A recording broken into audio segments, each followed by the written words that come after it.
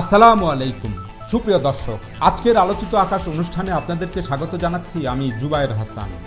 দীর্ঘ নয় মাসের সশস্ত্র লড়াইয়ের মধ্য দিয়ে উনিশশো একাত্তর সালের ষোলোই ডিসেম্বর বাংলাদেশ স্বাধীনতা লাভ করে।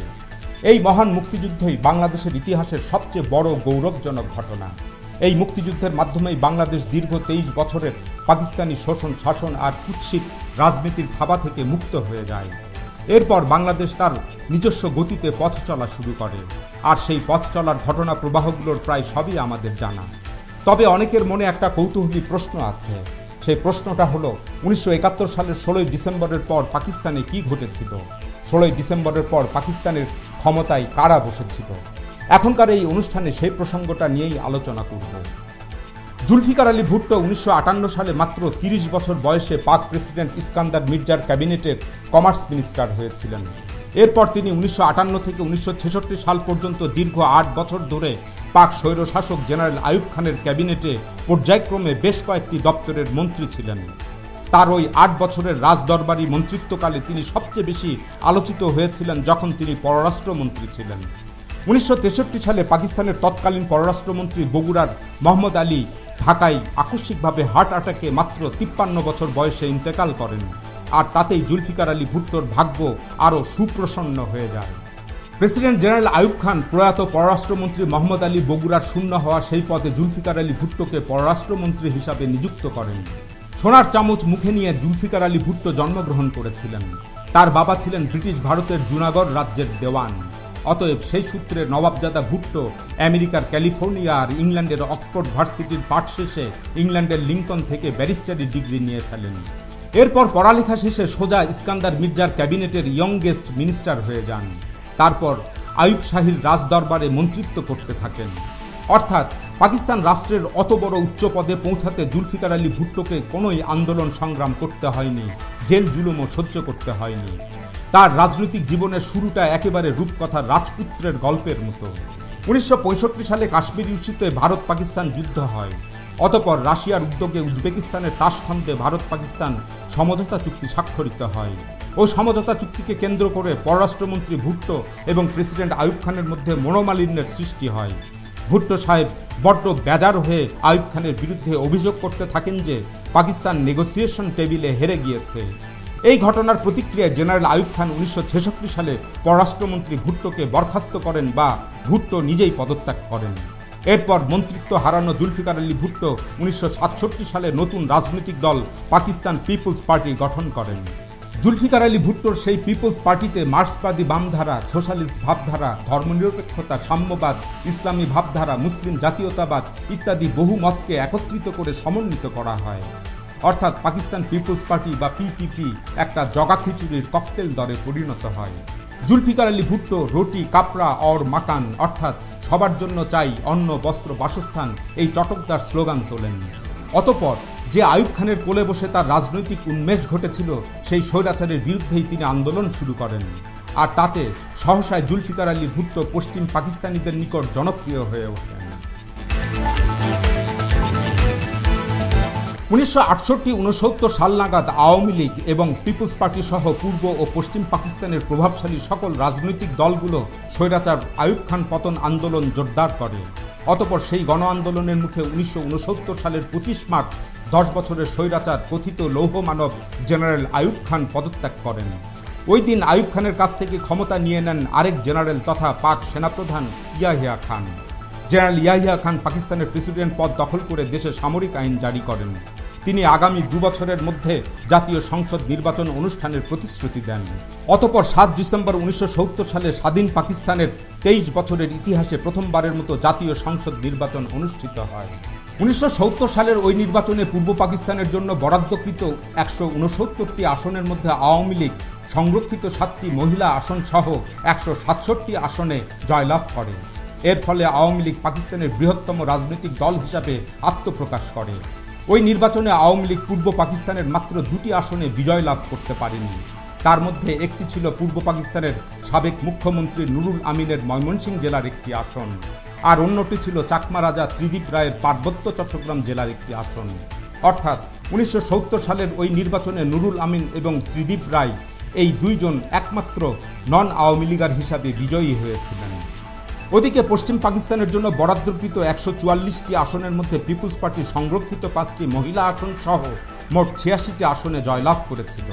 সুতরাং উনিশশো সত্তর সালের ওই নির্বাচনে পাকিস্তানের জাতীয় সংসদের সর্বমোট তিনশো তেরোটি আসনের মধ্যে আওয়ামী লীগ একশো সাতষট্টিটি আসন লাভ করে একক সংখ্যাগরিষ্ঠতা অর্জন করে।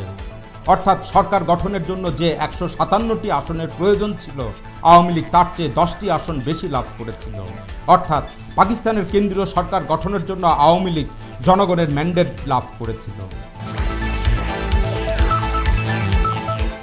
চরম রাজনৈতিক উচ্চাভিলাষী জুলফিকার আলী ভুট্টো ক্ষমতায় যাবার লোভে উনিশশো সত্তর সালের ওই নির্বাচনের জনরায়কে উপেক্ষা করতে থাকেন। তিনি মানুষের অধিকার নিয়ে খেলতামাশামূলক বক্তব্য দিয়ে বলেন, ইধার হাম, উধার তুম। অর্থাৎ ভুট্টো সাহেব এক দেশে দুই প্রধানমন্ত্রী থাকবার কিংবা ক্ষমতা ভাগাভাগির উদ্ভট এক কনসেপ্ট হাজির করেন। ভুট্টো সাহেব যুক্তি দিতে থাকেন যে আওয়ামী লীগ পশ্চিম পাকিস্তানে কোনো আসনই লাভ করতে পারেনি।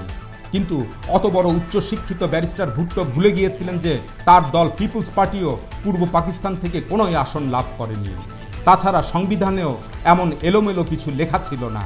সোজা সাপটা বিষয় এটাই ছিল যে সংখ্যাগরিষ্ঠতা লাভকারী দল ক্ষমতায় যাবে। আসলে ভুট্টো সাহেব ক্ষমতায় যাবার উন্মত্ত নেশায় বিভোর হয়ে আইন ও সংবিধান বিরোধী কথা বলে যাচ্ছিলেন। আর জুলফিকার আলীর ভুট্টোর সেই কথায় পাক প্রেসিডেন্ট জেনারেল ইয়াহিয়া নিশ্চয়ই বেশ পুলকিত বোধ করেছিলেন। কেননা তার লক্ষ্য ছিল যে কোনো মূল্যে বাঙালিদের ক্ষমতা গ্রহণকে ঠেকানো এবং সেই সাথে নিজের ক্ষমতার মসনদকে আরও পাকাপোক্ত করে তা দীর্ঘায়িত করে ফেলা। অতএব ভুট্টো আর ইয়াহিয়া এই দুজনের লক্ষ্য উদ্দেশ্য মিলেমিশে এক হয়ে পড়ে। তারা দুজন আলোচনার নামে ঢাকায় এসে সবাইকে ধোকা দিতে থাকেন।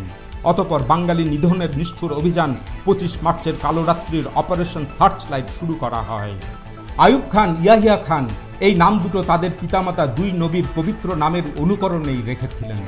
ওদিকে বিশিষ্ট সাহাবি হজরত আলী রাদি আল্লাহু আনহু এবং তার তরবারির নাম ছিল জুলফিকার।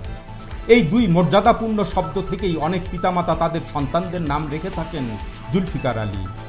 নবী কিংবা সাহাবিদের এমন পবিত্র নামের অনুকরণে অনেক পিতামাতারা মনে বড় আশা নিয়ে তাদের সন্তানদের ওইসব নাম রেখে থাকেন। এর কারণ, তাদের সন্তানরা যেন বড় হয়ে মহৎ চরিত্রের অধিকারী হতে পারে। কিন্তু জেনারেল আয়ুব খান, জেনারেল ইয়াহিয়া খান আর জুলফিকার আলী ভুট্টো এই তিনটি পাকিস্তানি নাম উচ্চারিত হওয়া মাত্রই তা নিপীড়িত মুসলিম মনকে ভীষণ তাড়িত আর ব্যথিত করে তোলে। উনিশশো একাত্তর সালের মুক্তিযুদ্ধ চলাকালের এক পর্যায়ে প্রেসিডেন্ট ইয়াহিয়া খান জুলফিকার আলী ভুট্টোকে পাকিস্তানের পররাষ্ট্রমন্ত্রী বানিয়েছিলেন। এরপর পনেরোই ডিসেম্বর জাতিসংঘে যখন বাংলাদেশের মুক্তিযুদ্ধ বিষয়ে আলোচনা চলছিল, তখন তিনি খুব দম্ভ ভরে উঠে দাঁড়িয়ে সবার সামনে কাগজপত্র ছিঁড়ে ফেলেছিলেন আর চিৎকার করে বলছিলেন I am not a rat অথচ তার ওই উগ্রতার মাত্র একদিন পরেই উনিশশো একাত্তর সালের ষোলোই ডিসেম্বর পাক বাহিনী ঢাকায় আত্মসমর্পণ করে। ওদিকে চতুর জেনারেল ইয়াহিয়া খান উনিশশো একাত্তর সালের নয় ডিসেম্বর আটাত্তর বছরের বয়োবৃদ্ধ বাঙালি বাবু নুরুল আমিনকে পাকিস্তানের প্রধানমন্ত্রী বানিয়ে দেন। আর জুলফিকার আলী ভুট্টোকে পররাষ্ট্রমন্ত্রী কাম উপপ্রধানমন্ত্রীর পদে ভূষিত করেন। নুরুল আমিনকে প্রধানমন্ত্রী বানানোর মধ্য দিয়ে ধূর্ত ইয়াহিয়া খান তার মসনদকে বাঙালি ব্র্যান্ডের কলপ লাগানোর চেষ্টা করেন কিন্তু ততক্ষণে সব খেল খতম হয়ে গিয়েছিল। ষোলোই ডিসেম্বর পাকিস্তানিদের আত্মসমর্পণের মাত্র চার দিন পর, অর্থাৎ উনিশশো একাত্তর সালের বিশ ডিসেম্বর জেনারেল ইয়াহিয়া খান পদত্যাগ করেন। নিউ ইয়র্ক থেকে তড়িঘড়ি করে ফিরে আসা জুলফিকার আলী ভুট্টো ওই দিন পাকিস্তানের প্রেসিডেন্ট হয়ে যান। আর মাত্র তেরো দিনের প্রধানমন্ত্রী বাঙ্গালি বাবু নুরুল আমিন পাকিস্তানের ভাইস প্রেসিডেন্টের পদ লাভ করেন। এর ফলে তখন নুরুল আমিন হয়ে পড়েন পাকিস্তানের সর্বপ্রথম এবং সর্বশেষ একমাত্র ভাইস প্রেসিডেন্ট। তিনি উনিশশো চুয়াত্তর সালে একাশি বছর বয়সে পাকিস্তানে ইন্তেকাল করেন। করাচিতে অবস্থিত জিন্নার সমাধির পাশে তাকে কবরস্থ করা হয়। এদিকে ভুট্টোর ক্যাবিনেটে সংখ্যালঘু বিষয়ক মন্ত্রিত্ব লাভ করেছিলেন উনিশশো সত্তর সালের নির্বাচনে পার্বত্য চট্টগ্রাম থেকে নির্বাচিত হওয়া এমপি আটত্রিশ বছর বয়স্ক চাকমা রাজা ত্রিদীপ রায়। তিনি পরবর্তীকালে দীর্ঘদিন পাকিস্তানের রাষ্ট্রদূত ছিলেন। এক পর্যায়ে তিনি আজীবনের জন্য পাকিস্তানের মন্ত্রী পদমর্যাদা লাভ করেন। তিনি দুই হাজার বারো সালে পাকিস্তানের রাজধানী ইসলামাবাদেই মৃত্যুবরণ করেন। নুরুল আমিন এবং রাজা ত্রিদীপ রায় এই দুইজন রাজনীতিবিদ কখনোই স্বাধীন বাংলাদেশে আর ফিরে আসেননি। তারা মৃত্যুর আগ পর্যন্ত তাদের পেয়ারা পাকিস্তানের প্রতি আনুগত্য প্রকাশ করে সেখানেই থেকে গিয়েছিলেন। উনিশশো একাত্তর সালের ষোলোই ডিসেম্বর বাংলাদেশ স্বাধীন হবার মাত্র দু তিন দিন আগ পর্যন্ত পাকিস্তানি মিডিয়া সংবাদ পরিবেশন করে যাচ্ছিল যে পাক বাহিনী বিজয়ের দ্বার প্রান্তে পৌঁছে গিয়েছে। এ কারণে ষোলোই ডিসেম্বর বাংলাদেশ স্বাধীন হবার খবর শুনে পাকিস্তান জুড়ে অকস্মাৎ হাহাকার শুরু হয়ে যায়। পাকিস্তানের জনগণ এবং সেনাবাহিনীর এক অংশ প্রেসিডেন্ট ইয়াহিয়া খানের পদত্যাগ দাবি করতে থাকে। যার কারণে পররাষ্ট্রমন্ত্রী জুলফিকার আলী ভুট্টোকে নিউ ইয়র্ক থেকে দ্রুততার সাথে দেশে ফিরে আনা হয়। উনিশশো একাত্তর সালের বিশ ডিসেম্বর জুলফিকার আলী ভুট্টো প্রেসিডেন্টের পদ গ্রহণ করেন এবং বিদায়ী প্রেসিডেন্ট জেনারেল ইয়াহিয়া খানকে গৃহবন্দী করে ফেলেন। গৃহবন্দী হওয়ার কিছুদিনের মধ্যে জেনারেল ইয়াহিয়া স্ট্রোক করে প্যারালাইজড হয়ে পড়েন। জেনারেল ইয়াহিয়া দীর্ঘ আট বছর গৃহবন্দী অবস্থায় একাকী নিঃসঙ্গ জীবনযাপন করেন। অতপর পাকিস্তানের আরেক স্বৈরশাসক জেনারেল জিয়াউল হকের শাসন আমলে উনিশশো উনআশি সালে তিনি মুক্তি পান। মুক্তি পাওয়ার বছর খানেকের মাথায় উনিশশো আশি সালের দশই আগস্ট তেষট্টি বছর বয়সে জেনারেল ইয়াহিয়া খান মৃত্যুবরণ করেন। উনিশশো একাত্তর সালের বিশ ডিসেম্বর জুলফিকার আলী ভুট্টো পাকিস্তানের প্রেসিডেন্ট হবার মাধ্যমে তার দীর্ঘদিনের লালিত খায়েশ পূর্ণ হয়ে যায়। এরপর উনিশশো তিয়াত্তর সালের চোদ্দই আগস্ট পাকিস্তানের নতুন সংবিধান গৃহীত হয়। তখন ওই সংবিধান মোতাবেক প্রেসিডেন্ট ভুট্টো প্রধানমন্ত্রীর পদ গ্রহণ করেন। এরপর থেকেই তার জনপ্রিয়তায় ভাটা পড়তে থাকে। ভুট্টোর সিদ্ধান্ত মোতাবেক পাকিস্তানের ব্যক্তি মালিকানাধীন কলকারখানা এবং অপর অপর ব্যবসা প্রতিষ্ঠানগুলোকে রাষ্ট্রের অধীনে নিয়ে জাতীয়করণ করাই অর্থনীতি মুখ থুবড়ে পড়ে। সেই সাথে বেলুচিস্তান প্রদেশ এবং উত্তর পশ্চিম সীমান্ত প্রদেশ, যার এখনকার নাম খাইবার পাখতুনখোয়া প্রদেশ, এই দুই প্রদেশে বিদ্রোহ শুরু হয়ে যায়। বেলুচিস্তানের বিদ্রোহ দমনের জন্য সেখানে সেই কুখ্যাত জেনারেল টিক্কা খানকে পাঠানো হয়। উনিশশো তিয়াত্তর থেকে উনিশশো আটাত্তর সাল পর্যন্ত চলা বেলুচিস্তান বিদ্রোহ দমনে পাকিস্তানি আর্মি এবং বিদ্রোহী বেলুচিস্তান লিবারেশন ফোর্সের কয়েক হাজার সৈন্য হতাহত হয়। তাছাড়া বালুচ জনগোষ্ঠীর কয়েক হাজার নিরীহ মানুষ হতাহত হয়। উনিশশো চুয়াত্তর সালের পর থেকে জুলফিকার আলী ভুট্টো অনেকটা স্বৈরাচার হয়ে পড়েছিলেন। তিনি ক্ষমতায় বসেই বিশেষ নিরাপত্তা বাহিনী ফেডারেল সিকিউরিটি ফোর্স বা এফএসএফ গঠন করেছিলেন। তিনি তার রাজনৈতিক প্রতিপক্ষকে দমনের কাজে ওই বাহিনীকে ব্যবহারও করেছিলেন। উনিশশো সাতাত্তর সাল নাগাদ পাকিস্তান জুড়ে ভুট্টো বিরোধী আন্দোলন তুঙ্গে ওঠে।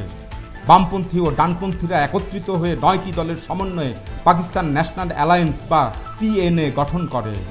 পরিস্থিতি মোকাবেলায় প্রধানমন্ত্রী ভুট্টো মেয়াদ শেষের এক বছর আগেই উনিশশো সাতাত্তর সালের সাতই মার্চ আগাম জাতীয় নির্বাচনের আয়োজন করেন।